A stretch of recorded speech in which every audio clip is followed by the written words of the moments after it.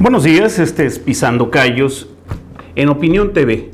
Eh, tendremos para ustedes información e incidentes de la nota roja de acontecimientos en el estado, en nuestra ciudad, pero también en el país.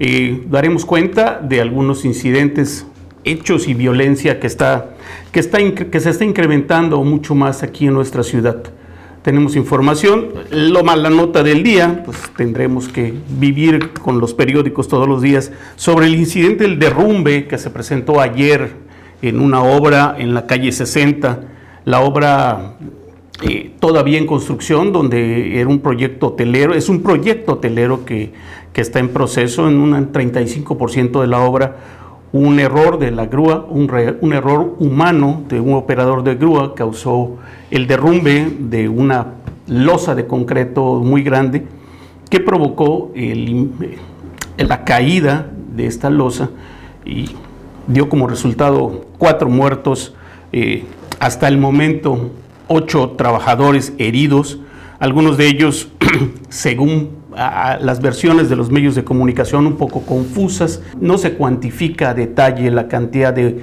heridos, si son graves, algunos de ellos. Eh, los datos eh, aparecen en diferentes eh, medios de, comunicación impreso de la ciudad y también en los medios electrónicos que han hecho circular pues, una cantidad de fotos, videos e información. La policía dio un parte muy cercana a las tres horas de, que se dio el incidente. la Dirección de Protección Civil argumentó algunos detalles que se hubieran podido presentar en la obra, pero sin entender por qué, hasta el momento el gobierno del estado pone la cara delante de una empresa que debiera ser la responsable de esta obra de, en construcción. Eh, no sabemos quién es el constructor específicamente, sabemos que pertenece a la empresa eh, de José Chapur Saúl, pero no sabemos quién es el ingeniero, no sabemos quién es la empresa constructora, no se da nombre de, los peritos de la obra, no se dice específicamente quién o quiénes son eh, el chofer de la grúa o el conductor de la grúa que pudo haber provocado el incidente. Tampoco se dio los nombres de los trabajadores fallecidos y el por qué estos trabajadores estaban eh, en ese sitio, si fuera la, la, condición. En algún momento han circulado imágenes que pues han dado la vuelta a los medios impresos ofreciendo pues, una gran cantidad de, hechos, algunos muy, muy confusos. Eh, tenemos que decir que en algún momento la vocería del gobierno del Estado emitió un reporte, pero no hay detalles más allá de lo que aparentemente se dio.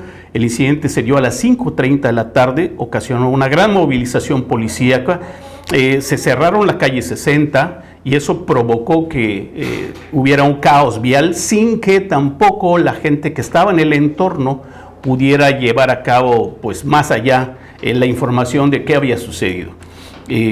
Por circunstancias también de seguridad, se bloqueó la entrada de los medios de comunicación. Muchos de los compañeros que cumplieron con la tarea de informar fueron rezagados, fueron sacados de los sitios más cercanos hasta que se pudiera dar hechos las fotos que circularon, bueno, pues se desconoce quién las pudo haber hecho circular.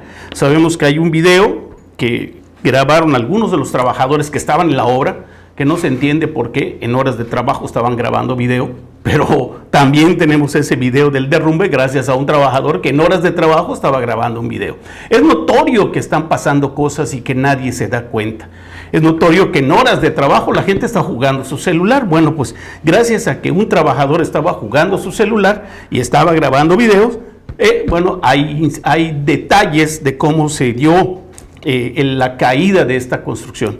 Eh, todo esto arrima una gran cantidad de condiciones tendrá que haber un peritaje, tendrá que hablar eh, pues la autoridad responsable, el ayuntamiento, que es el responsable de este proyecto, de, la verificación de la construcción del proyecto, pero hasta el momento hay un silencio de parte de la empresa, no conocemos hasta dónde eh, o hasta cuándo podrán tener detalles confirmados de los nombres, también de los incidentes. Tenemos más información, además del derrumbe. Bueno, eh, una nota que vale la pena señalar es que ayer se dio una nota interesante. Eh, de los casi 265 muertos que han habido en el estado por hechos de, de tránsito, 100 son motociclistas.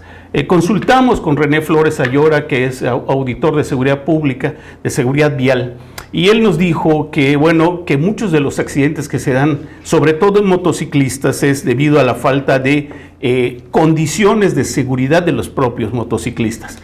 Es muy alto el número de muertos por este tipo de actos, pero vale la pena señalar que en muchos de los casos, y nos refería que incluso en algún municipio del sur del estado, el, alcalde eh, autoriza que los conductores de motociclistas no usen cascos. Eh, hay hechos muy lamentables, como son el caso de que hay, eh, pues no sé, 28, 28 ciclistas, 17 eh, conductores de los vehículos de este número importante de, personas que han fallecido en, hechos viales, son conductores, 34 eran personas que viajaban en los vehículos. Lo que vale la pena señalar es que el número de motociclistas en la ciudad crece, sobre todo los pizzeros que manejan como Dios les dio la gana y donde la autoridad municipal o la autoridad estatal no hace absolutamente nada por recuperar la seguridad, no solamente de los que conducen, sino de los que van en la vía. Otro incidente. El periférico de la zona norte de la ciudad eh, se anunció que iba a estar en construcción en, el cruzamiento de la zona norte, en el, en el cruce del arco norte, la salida Progreso. Según SCT, ya dio a conocer que será hasta enero cuando se hagan estas obras. Eh, no vale, la pena decir que en la parte más importante del arco norte, donde, se, donde confluye el mayor número de vehículos, es donde hay, menores carriles, el menor número de carriles para tránsito. Entonces, bueno, eh, según SCT, será hasta enero cuando se realicen estas obras. Eh, tenemos más información, realizan exhorto para evitar accidentes con focos navideños. Este es un, este es un reporte que hizo la Dirección de Protección Civil, sobre todo en atención de las familias que colocan arbolitos navideños, que colocan adornos, que colocan una gran cantidad de luces en un solo conector de electricidad. Esto puede provocar no solamente incendios, sino también eh, que se den problemas eh, incluso con menores de edad cuando utilizan cables que no están bien, eh, que no están, que no tienen la seguridad y pueden provocar hechos de eh, problemas, pues. Extingue la acción penal a un narcomedutista tras concluir con su, con su palabra y, y reformarse. Ratero pacta condena mínima. Tras confesar su delito ante el juez, eh, Gerle Orlando Ávila León se declaró culpable de un delito de robo calificado cometido con violencia y pactó su condena mínima en el juzgado segundo de control de justicia oral en Mérida.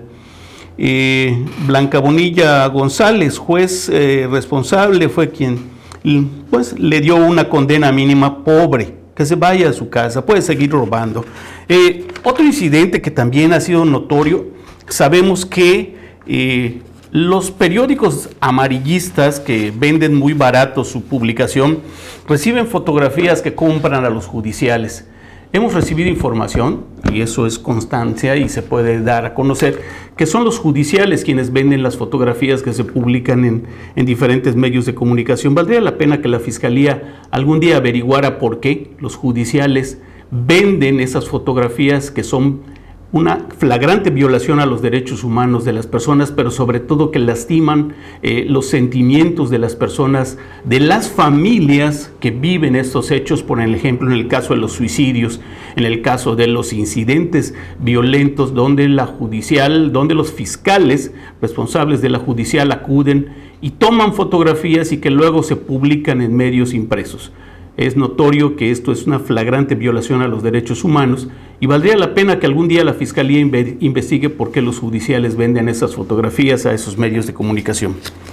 Bueno, es todo, eso es un poco de lo que conocemos todos los días en hechos de violencia. Sabemos que hay una gran cantidad de incidentes. Nos reportan no solamente robos en las colonias, sino que el crecimiento de hechos de delictivos, hechos de vandalismo en los parques, en algunas colonias. Daremos cuenta de todo esto en Pisando Callos y nos atreveremos a acercarnos a usted para darle esta información todos los días.